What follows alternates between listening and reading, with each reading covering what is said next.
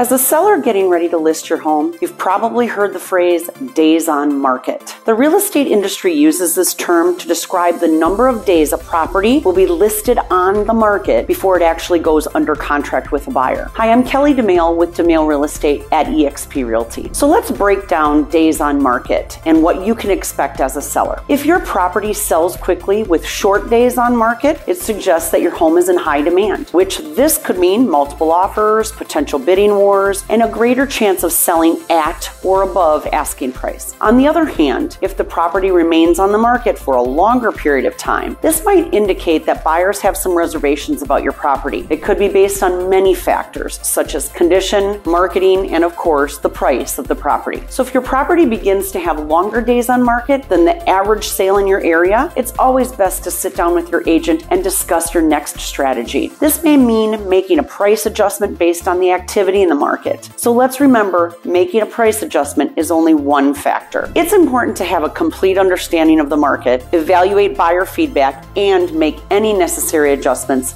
to increase your property's appeal. With the right marketing and pricing strategy, this will enhance your property's desirability and the likelihood of a successful sale. If you're a homeowner thinking of listing your property, please reach out to me and my team to go over the latest housing data and to put you in the best position to sell. I'm Kelly Domaille. We love where we live and we want you to love where you live too.